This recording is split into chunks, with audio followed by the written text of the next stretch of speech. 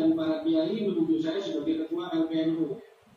Nah, ketua LPNU dan kemudian saya dididik menjadi ahli marketing standar internasional. Saya bekali ilmu di pertama memang di swadaya dan pengurus secara mandiri eh, belum ada eh, iwan bersama. dan personal.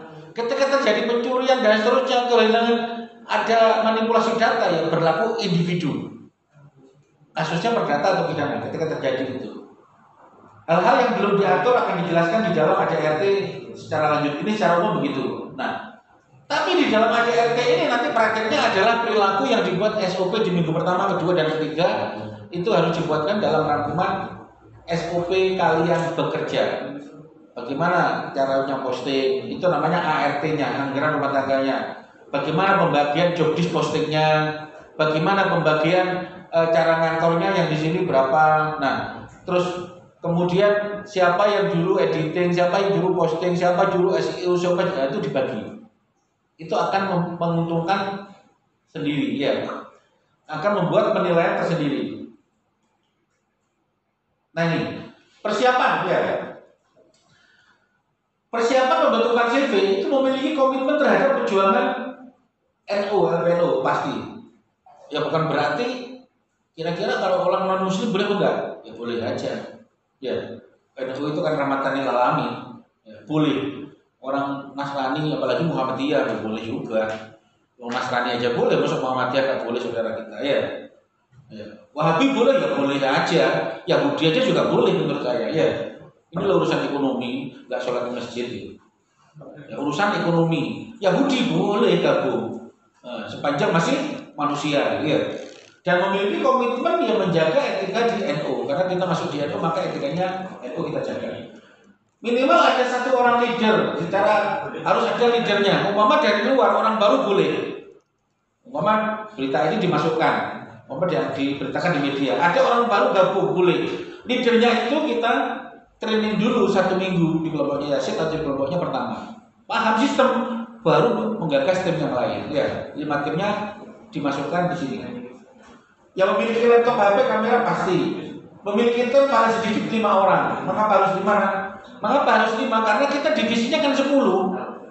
Pertama, divisi divisi foto, divisi editing, kemudian divisi posting, kemudian divisi SEO, divisi search engine, ya, divisi medsos, divisi YouTube, ya, divisi Telegram, ya, terus divisi marketing programmer dan akuntansi pembukuan minimal 10 sebenarnya. Tapi karena 10 pekerjaan ini harus dirangkap ya lima orang ini, masing-masing harus bisa. Diatur sedemikian rupa bagaimana di tahap awal satu bulan ini giliran pekerjaannya satu minggu sekali sehingga masing-masing akan tahu kelemahannya orang ini di mana di mana di mana gitu ya di bidang itu ya jadi mana temannya yang lemah harus jangan dijatuhkan harus dibina harus dikasih motivasi di mana temannya yang achievementnya di bawah 65 persen terakhir pelaksanaannya ini gambaran perilaku ini adalah perilaku dari operator admin saya yang di rumah sebenarnya ini saya ambil dari bisnis saya Pertama, mencapai target harian foto produk itu 3.500 jepretan. Kecil itu. Saya bisa 10.000 per hari. Ya. Jadi ketika memotret produk itu 3.500 sejelek-jeleknya. Mencapai target harian editing editing minimal 250 produk. Kalau dibuka lapak Tokopedia masing-masing 5 berarti 250 kali 5 ngedit. Selesai nih satu orang. Saya bisa 1000 lebih.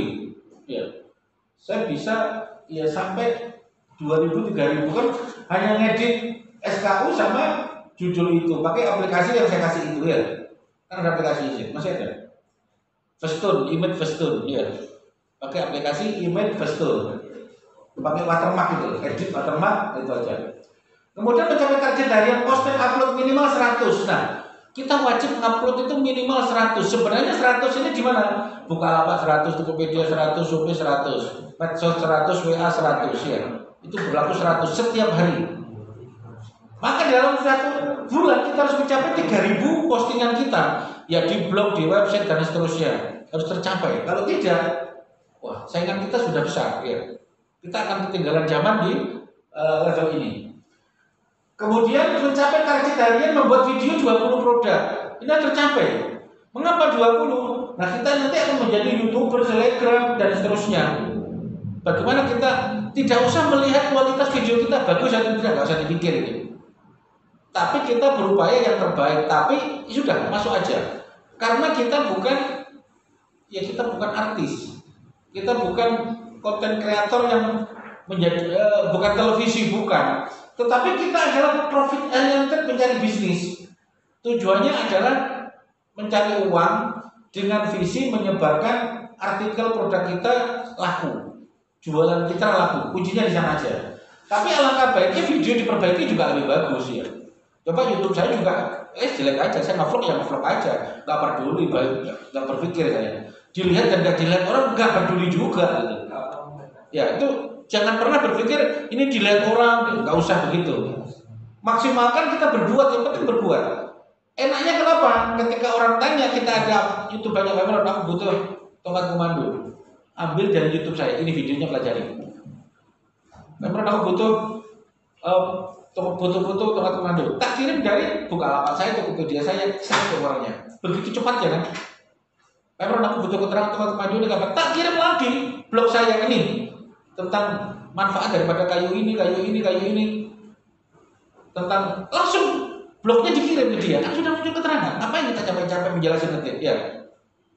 Itu manfaat utama kita gitu, dalam berbisnis digital. Halo pak. Ada banyak koleksi ada korban. Oh banyak. Di WA kita katalog bisnis sudah jalan. Dia kirim sebanyak-banyaknya kirimi. Pak ini fungsinya apa? Kirim dari blog kita penjelasan daripada masing-masing kategori ukuran dikirimi set kirim. Katalog dan terakhir kirim. Terus apa lagi? Minta apa lagi? Pak ini fotonya bagaimana? Videonya kirim YouTube-nya gitu. Nah, itu penting. Target utama kita ke sana. Jadi ketika orang tanya langsung dijawab, tes tes langsung dijawab. Menggunakan apa? Menggunakan blog, share blog, menggunakan marketplace, menggunakan channel YouTube kita, IG kita, langsung terjawab. Ya. Target utama sebenarnya untuk itu yang pertama. Yang jadi masalah adalah bagaimana agar sehari kita mendapatkan minimal ya 100 orang bertanya pada kita. Nah, di situlah perlu set engine. Dan ini harus kita latih terus. Stanjin hari ini berubah lagi. Di Shopee berubah, di YouTube berubah juga. Hari ini berubah. Per Juli sampai Agustus ini perubahan set engine algoritma terbaru berubah total lagi digital. Maka harus kita ikuti. Nanti saya jelasin. Kemudian ini yang mencapai target harian editing video yang minimal sejelek-jeleknya pakai master lah 20 video ngedit ya kecil saya aja ngedit bisa 100 per hari pakai master ya jadi pakai Master atau Filmora boleh, InShot juga boleh terserah ya banyak ya aplikasinya banyak. Viva juga boleh, ya, yang bisa atau Premiere juga lebih bagus ya. Itu harus. Yang minimal sejelek-jeleknya ya Filmora sama Master itu pakaian kita lah ya. Sejelek-jeleknya pakai itu. Kemudian mencapai target harian upload video deskripsi narasi minimal 20. Bagaimana? Bagaimana kita memberikan narasi thumbnail ya?